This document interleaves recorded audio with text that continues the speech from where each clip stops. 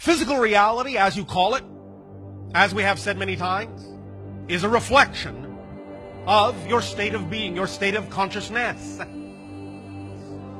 There really is nothing outside of you. You're not really in physical reality. Physical reality is within you. It's within your consciousness. It is a concept that you are experiencing of yourself from a certain perspective. However, we understand that the way in which you have chosen to experience your particular dimension of physical experience is as though you are within a realm of space and time, as you call it. But what is that exactly? What is space? What is time?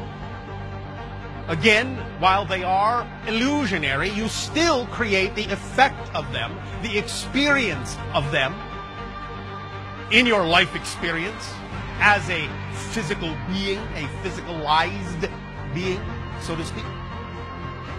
Where you have taken your energy, the energy, the high frequency energy of your spirit nature, your non physical nature, and in a sense have lowered that frequency, crystallized that frequency down into what you call the experience, the matrix of, the structure of physical reality. Now, again, this is going on within your consciousness.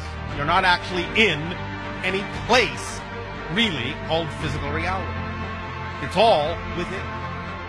Nevertheless, we understand that the way you chose to experience this makes it appear to be outside of you.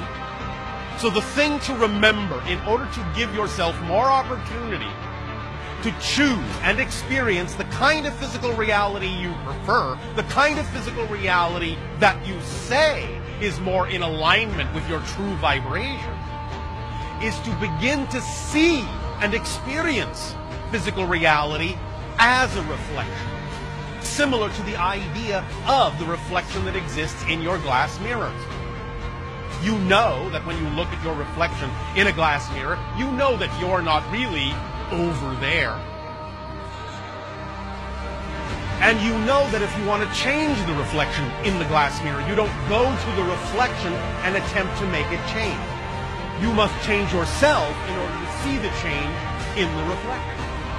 So, physical reality, being a reflection, being a hall of mirrors, operates in much the same kind of modality. Any change you wish to see in the so-called reflection, the outer reality, must begin within, must begin within the inner reality, which is you, within your consciousness, within your vibration, within your state of being.